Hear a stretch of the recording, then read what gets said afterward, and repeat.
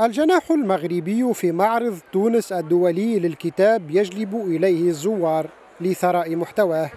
حضور دوري مغربي لنشر آلاف العناوين والتعريف بها. يقول هشام الحجري وقد تنقل وأسرته من المنستير في الساحل التونسي إلى المعرض. إن الجناح المغربي ثري جدا وأن المناسبة ككل فرصة لتكريس ثقافة المطالعة لدى الأطفال. شفت برشا عناوين جديدة. برشا عناوين معناتها تحكي على الدول العربية كل الإسلامية والعربية وعلى الدولة المغربية آه، ثقافيا هي فرصة مرة في العام للصغيرات نتاعنا باش يشوفوا حاجة جديدة واللي هي تو بدات التليفونات والإنترنت بعدتهم على كل شيء ما عادش شكون يقرأ الكتب. هناك دار الثقافة من الدار البيضاء ودار الأمان من الرباط فقط.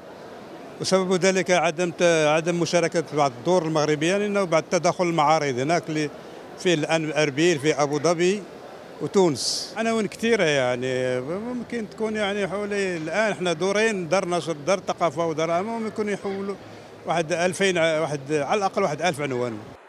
25 دولة مشاركة في معرض تونس الدولي للكتاب ب 314 دار نشر. إقبال لافت في اليوم الثاني. في تحد للأزمة الاقتصادية لكن رغم التخفيضات ما زال الكتاب صعب المنال. شعار المعرض هذا العام امضي أبعد مما ترى عيناك وفي يدك كتاب قد يبقى حبرا على ورق. كل سنة أزور المعرض لأقتني بعض ما أحتاجه.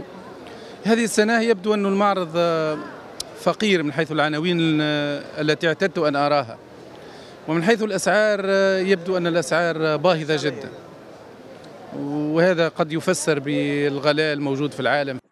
لأسباب تنظيمية كان معرض تونس الدولي للكتاب مهددا بعدم إقامته هذا العام لكن وزارة الثقافة التونسية نجحت في الإبقاء على دوريته ليستمر مناسبة لخير جليس في الزمان أن يظل كذلك. رغم الظروف الاقتصادية الصعبة يقدم التونسيون بكثافة على معرض الكتاب. شغف القراءة والعلم والثقافة يتحدى القدرة الشرائية الصعبة. فتح الفالحي ميديا تونس.